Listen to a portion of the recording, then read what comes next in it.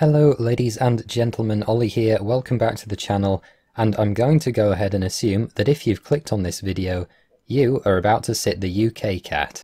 Now this must mean that you are either a prospective medical student, a prospective dental student, or a massive nerd who enjoys taking difficult exams, and I commend you either way. But the UK CAT contains a subtest called the Abstract Reasoning subtest, and it's quite difficult, or at least a very large number of candidates find it very difficult. From any research you've done or past papers you've seen, I'm sure that you've seen something like what's in front of you right now. This is very typical of a Type 1 question on the UK CAT Abstract Reasoning subtest. There are actually four types of question, but Type 1 is the simplest to explain and the best way to get started, which is what this video is all about. So let's just explain what we've got going on in front of us we have two sets of six boxes, labelled set A and set B, and then on the right hand side we have three test shapes. What we have to do is decide whether each shape belongs in set A, set B, or doesn't belong to either set at all. But how might we do this, because in effect it looks completely random. We could of course guess, and guessing either A, B, or neither you'd have a 33% chance of getting the answer right. However, there's obviously a bit more to it than that. The way these questions work is that there is a series of rules that govern how the shapes are arranged in set A and set B, and these rules are consistent for all six boxes belonging to each set. There is a pattern or multiple patterns that hold true for every single box in each set and it's our job to work out what those rules are so that we can then assign our test shapes to them. But how might we do that, I hear you ask, because surely there's almost an infinite number of rules that could apply to either of them. And that's true, of course, but these questions are designed by humans for other humans to solve, so the best way to start would be trying to identify some of those common factors, which is the perfect time to introduce our first element of the day, the scans method. Now this is a little acronym mnemonic device type thing that will help you structure your approach to the abstract reasoning subtest questions. So let's start with S. This simply refers to what shapes are present in each box. It could be circles, triangles, pentagons, anything you like. This will be highly dependent, but simply make a note of which are here. C is for colour. Is the colour of any shapes present relevant or consistent between the boxes, particularly in combination with the associated shapes? In this case, all of our shapes are white, so we can ignore this one for now. A is for arrangement, which is simply where in the box are the different shapes located. Now we can see just from a quick glance that the distribution is not uniform, so that might be something we want to look out for. N is for number, how many shapes of each type are there, how many sides do they have, and what is the total number of sides and right angles in each box. So this is going to be relevant for us. The number of sides is variable, the number of right angles is variable, so here are some things we can look for. And finally S is for size. How does the size of each shape vary between the boxes, and does it correlate to colour, arrangement, or a conditional feature, such as the presence of another shape or the total number of sides in the box? So now we have scans in place and we know what we're going to look for. Before we begin, Ignore the test shapes on the right. They will not help you because they don't tell you what the rules are. Always identify the rule before looking at the test shapes, otherwise they'll simply distract you. Now is a fantastic time to introduce our second method that will help you get used to this section, that is the simple squares method. You can see from a very quick glance at all six of our boxes that the number of shapes in each one is different. And while we don't know what the rule is that links them all, we do know that that rule has to hold true in all six boxes. So by concentrating on some of the simplest squares, namely this one and this one, we'll have to spend less brain power trying to work out what the rule is. From there you'd want to work to this right hand one and then the bottom right. But for now I'm going to work through all six to make sure you understand the methods that I'm using.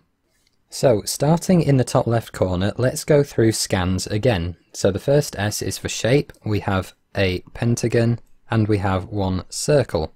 Now that's it. What about colour? Well, they're both white, so we're going to ignore that.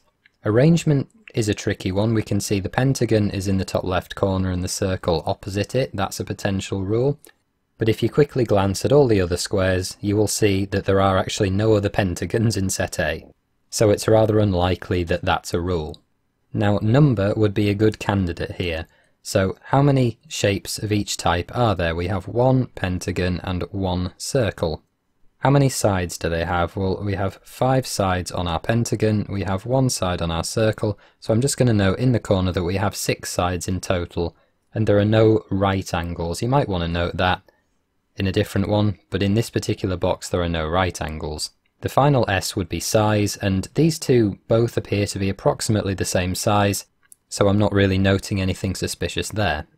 So let's move on to the second box. Once again, we'll go to shape, so we have one triangle, two triangles, and two circles. Moving straight ahead to arrangement, you can see that this is a little bit more interesting. The triangles and the circles are opposite one another. But again, if we look at all the other boxes, apart from the one immediately below us, this doesn't seem to hold true for the other boxes either, so we'll ignore arrangement again. So now we've got number again, we've got three sides, one side, one side, three sides, so all in all that gives us eight sides for this box. So this has told us that the total number of sides is not constant between the boxes, so that eliminates that as a potential rule. And once again, in terms of size, everything looks approximately the same. So we'll move on to box number three, once again doing shapes, we have a semicircle and a square. The arrangement is not particularly interesting, but we do have our sides again in number. So 2, 4, and that has given us six sides in total. There are actually four right angles as well that we could observe here, but seeing as none of the squares we've looked at so far have right angles in, it's probably not relevant. And notice here that we now have two squares in set A that share the same total number of sides. That is interesting. Moving ahead to shape number 4, we have a triangle, a circle and a semicircle. We do have an arrangement here that looks quite similar to box number 2, so we'll keep an eye on that mentally. But once again, we'll just go ahead straight to number because that seems to be the only thing that's varying. So that's 3, 2 and 3. That is 6 again. So what I'm going to do for the rest of these boxes is just analyse the shape and number elements of these because they're the only ones that seem to be maintaining any sort of pattern. So moving ahead to box number 5 we have three semicircles with a total number of sides 6 once again and then moving to the final box of set A we have a circle, that would write properly, a square and another circle which gives us once again 6 sides in total for the box. So this should be leaping out at you. We now have six boxes, five of which have a total number of six sides, one of which is eight. So now I'm going to move to set B and we're going to analyse all of these at once. So we have pentagon, pentagon, circle, square, circle, triangle, triangle, circle, semicircle, and triangle. So the number of sides, we have two lots of 5 is 10, plus 1 is 11, we have 4 plus 1 is 5, 3, 9, 5, and 3 plus 2 is 5. So, something should have just become obvious. What we can see in this case is that in set A, the total number of sides is always even, it was either 6 or 8 in one case. In set B, however, this number always seems to be odd. So now we have a potential rule in place, so let's finally move to our test shapes. I'm going to quickly mentally add up the sides and write them in each, so we have circle plus 2 in the semicircle plus 1 gives us 4, for test shape 1. In test shape 2 it's 7, 4 for the square plus 3 for the triangle, and it's finally 1 for the circle in test shape 3. So now we have to assign each of these test shapes to the set. Test shape 1 has an even number of sides, so that is going to go in test shape A. Test shape 2 has an odd number, that's going to be in B. And test shape 3 is also odd, that one is also going to be B. And because I devised this question, ladies and gentlemen, I know that that's the correct answer. So if you'd followed these same steps and come to the same conclusion, you'd have scored full marks for this question. So we've come to the end of this first video intended for absolute beginners with the UKCAT Abstract Reasoning subtest. We've introduced the general concept of how Type 1 questions work, what you're expected to do, and two useful methods in scans and the simplest square method.